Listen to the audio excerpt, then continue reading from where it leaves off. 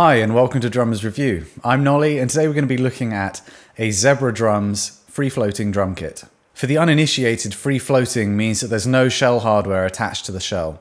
Instead, you've got single long lugs which connect both of the rims and clamp the heads down onto the shell from either end. This shell pack is made from London plane wood, which I have to admit is a timber I've never even heard of before. And in terms of sizes, we've got a 22 by 16 inch bass drum, we have 10 by 8 and 12 by 8 inch rack toms, a 14 by 11 inch floor tom, and a 14 by 6 inch snare drum. This drum set comes in at £4,000, and with its unusual timbre and a whole load of innovations, I'm really intrigued to see how it sounds. So let's dive in and listen in a bit more detail, then come back for some discussion afterwards.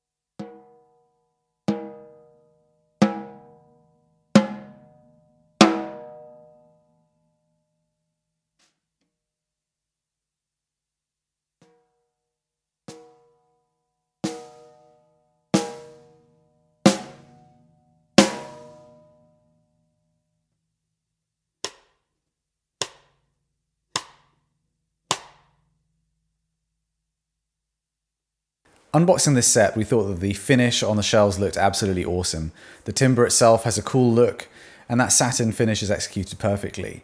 The free floating cradle system does lead to a clean engineered look for these drums, and it's worth noting that the toms and bass drum are tuned from one side only. When you turn the lugs on the batter side, the resonant side head is automatically tightened at the same time.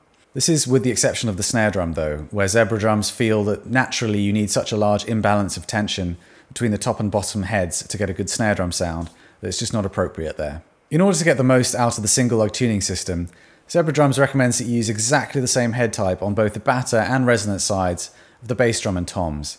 Here we have a coated ambassador on both sides of the toms and a power stroke 3 on the bass drum. The snare drum, however, has a more conventional head setup with a coated ambassador over clear snare side ambassador. There's no port on the front head of the bass drum, but Zebra Drums does put a little bit of foam inside there with the intention of reducing, in their words, the kind of basketball-y character that you get from the internal overtones. Having never heard any drums made out of London planewood before, we were certainly interested by Zebra Drum's description of this timber having a woody and metallic character. Hearing these drums for the first time, we were certainly struck that they seemed to have a lot of attack to them, and I guess that might be the metallic edge that Zebra's talking about. Despite not having any porting, the bass drum has a very modern sound to it. At lower volume levels, it's obvious that it's an unported drum because you can feel the resonance there. However, as you start to dig into it more, the attack becomes dominant, and you're left with quite an aggressive bass drum sound. It's quite normal for unported bass drums to not fare too well under close microphones. However, in this case, I was really quite surprised at just how good the front mic sounded. Tapping the rack toms before we set up the kit, we were struck by the long note that they've got, as well as the clean sound with minimal overtones, However, unfortunately, once we set them up on the cymbal stands, it seemed like a lot of that character got stifled. Now, this is a fairly common byproduct of cymbal stand mounting. However, we'd love to see if Zebra Drums could perhaps come up with a mounting system that would enable their drums to really show their true potential. With that said, though, there's still an awesome sounding set of rack toms, very articulate, clean, and a load of attack, as we've mentioned before. The floor tom, on the other hand, seemed to perform a lot more consistently before and after putting the legs on, I guess that's just because it's not inhibited by the cymbal mounting. So clearly there's a lot of potential to be derived from the free floating system here. Despite having a long sustain, we didn't feel like that floor tom clouded things up. It wasn't muddy at all, still really clean sounding with a gorgeous attack to it. The snare drum struck us as a very versatile instrument. It's again clean sounding with the same signature attack as the rest of the kit, but a good balance of overtones super versatile. To be honest, it's very tough to criticize, but at the same time, we didn't get that excited about it either. It's just not necessarily a sexy, desirable drum. The use of the trick strainer system for this snare drum is a great inclusion. It's one of our favorites, extremely easy to use and very smooth. Given the modern voice of this drum kit, we feel like it would be really good for players out there who are after a clean sound, perhaps those that play pop, funk, fusion, especially those who record frequently, because that clear sound with an upfront attack responds really nicely under close mics. In terms of build quality, these shells are up there with some of the best that we've seen. They're incredibly well made, the stave construction is executed perfectly, and even though we weren't a huge fan of the aesthetics of the hardware, it's all absolutely top notch too. The bearing edges are all very precisely cut, and as a result, the drums tuned up very easily. Speaking of tuning, the fact that you only have to adjust the drums from the batter side is certainly a great time saver, as well as a back saver too, since you don't have to be bending all around your kit. You can do everything from the player's perspective. With that said, though, if like me, you're very meticulous about your tuning on both sides of the drums, you are going to have a bit of control taken away here.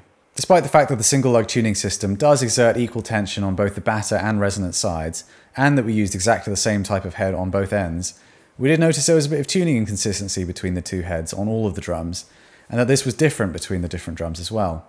I think this really just comes down to inconsistency between the heads rather than any problem with the system, However, this is exactly why I do like to have independent control over the tuning of both heads.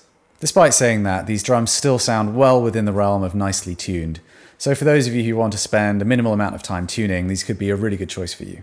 One neat innovation that comes with these Zebra drums is the inclusion of the little plastic thread locks on the tension rods. These prevent them from coming unscrewed and detuning the drum, while at the same time not affecting the tuning performance at all. For those of you that have battled maintaining tuning in a studio situation, I think you'll appreciate that this is a really neat feature. At £4,000, this set is definitely right up there on the high end of the market. However, for a drum kit that's custom made to this quality, as well as the inclusion of a snare drum, we do feel like it's justified. You'd certainly expect to pay a similar sum for a high end drum kit and snare from one of the major manufacturers. So, given this is a unique custom made kit, it definitely doesn't seem overpriced to me. We really hope you've enjoyed seeing this review of the Zebra Drums free floating drum kit. But why don't you let us know what you think? Leave us a comment and don't forget to subscribe. And I'll see you next time at Drummers Review.